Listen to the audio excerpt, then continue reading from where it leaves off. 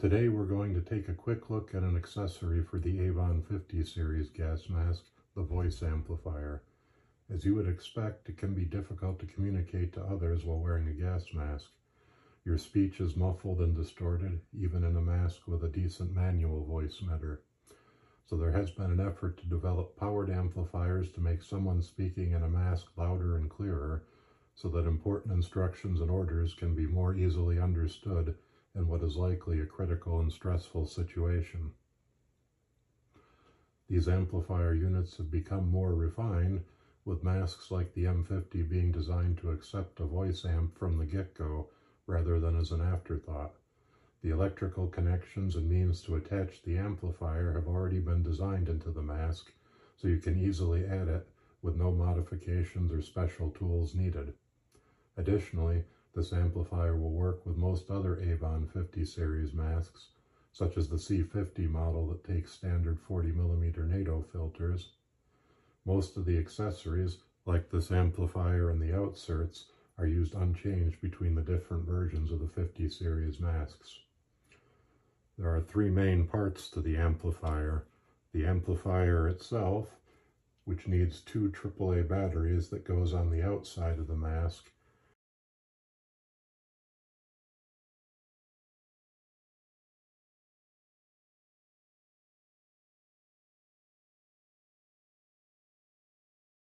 and the microphone and adapter that goes inside. They are two separate parts, as you can see with the gray and the black there, but they are frequently found joined together as here.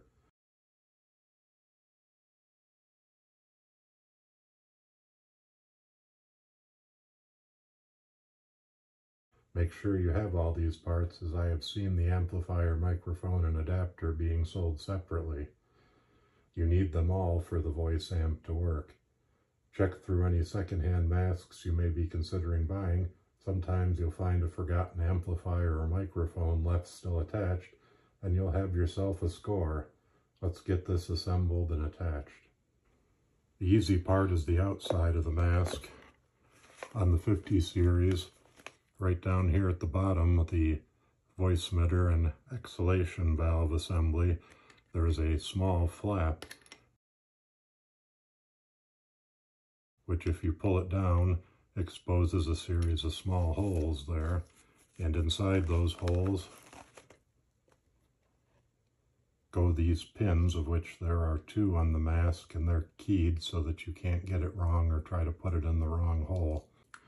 All you've got to do is get one of the pins lined up with a hole and when they are you can just press it into place and we're good to go. Then we can get the batteries in by unscrewing this little thumb screw at the side and pulling the hatch open and you need two AAA batteries to go inside there.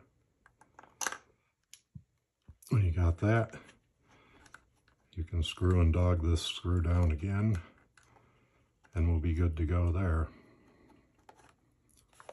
The other part involves getting the microphone and the mask, and that can be a bit trickier because way down there at the bottom is the triple pin port that this plug goes into.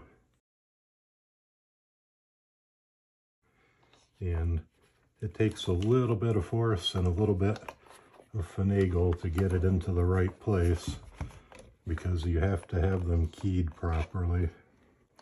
The microphone can be a bit of work when you've got it in place with all three pins, then you just have to push it firmly into place and it'll be good to go.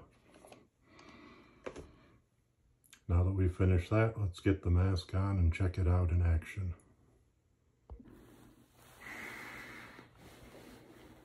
All right, we're suited up and have the mask on now.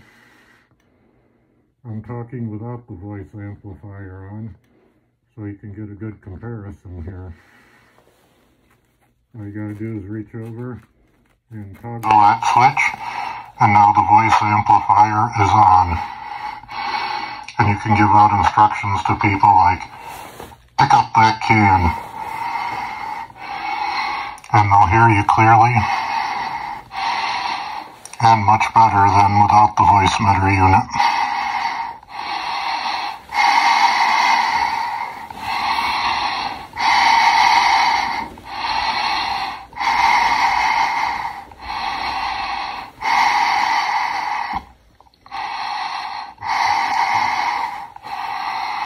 Probably makes the profile, the mask, a little bit scarier too. I'd have said it was ape or gorilla-like before, and it's probably pig-like now.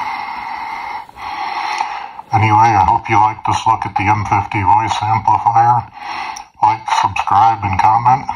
Thanks, and see you next time.